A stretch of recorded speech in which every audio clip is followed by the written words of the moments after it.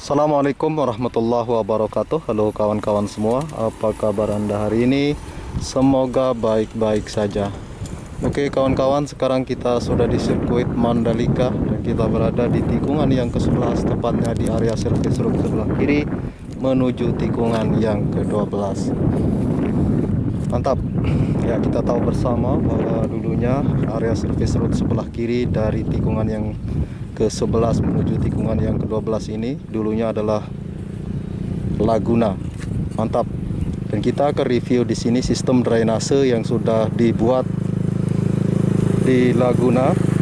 Artinya sistem drainase buangan yang dari tikungan yang ke-13 untuk pembuangan air nantinya dari seluruh area sirkuit Mandalika.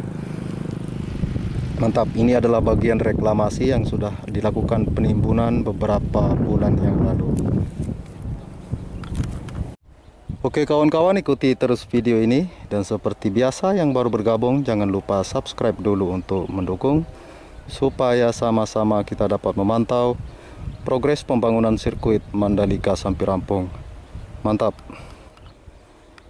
Ya. Untuk pembangunan sistem drainase induk atau drainase buangan di sirkuit Mandalika. Bisa kita lihat sekarang ini sudah tembus di Laguna untuk pembuatan talut baik itu bagian kiri maupun kanan. Ya di depan kita saat ini tinggal dilakukan penimbunan ada bagian di sana yang sudah dilakukan penimbunan dan tinggal diratakan sampai di sini sebelum difungsikan dan supaya batu yang sudah terpasang di sini tidak longsor. Begitu juga di sisi kiri tinggal dilakukan penimbunan. Dan uh, perlu diketahui bahwa Air yang berasal dari seluruh lingkar sirkuit Mandalika akan dibuang ke sini.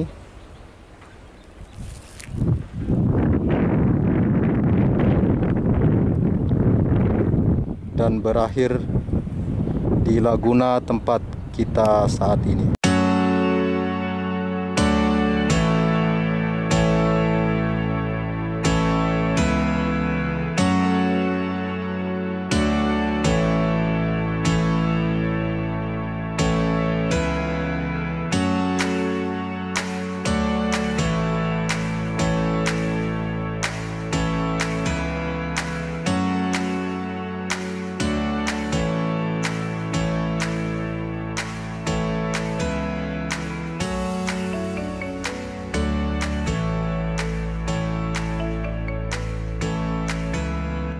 Tinggi dari dinding kiri maupun kanan yang dibuat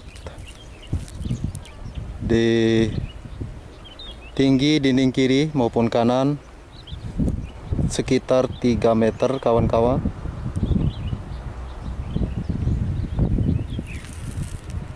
Dan di tempat kita kita lihat lebarnya kurang lebih. Dan di posisi ini saya perkirakan lebarnya lebih dari 20 meter bahkan lebih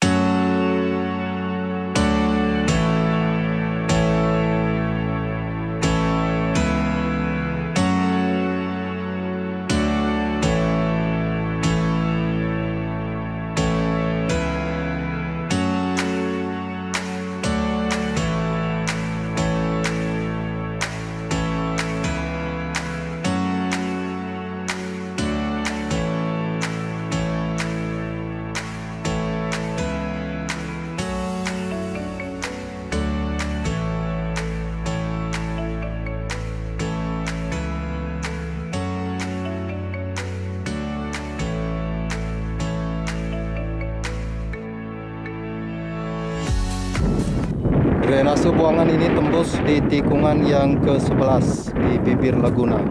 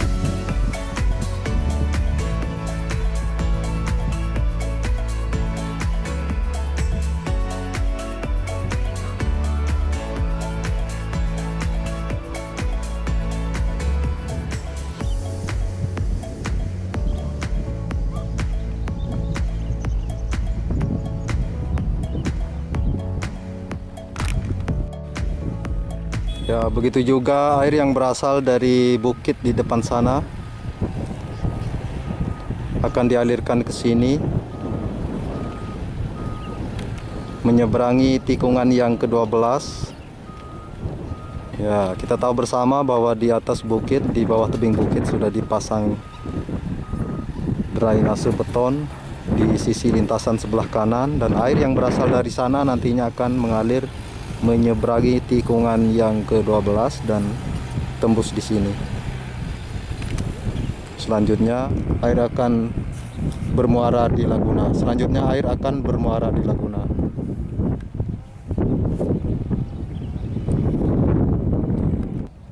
Dan gorong-gorong beton ini sebagai drainase air yang berasal dari lintasan sirkuit Mandalika terutama dari sistem drainase Hauroton dan akan dialirkan keluar melewati gorong-gorong beton ini.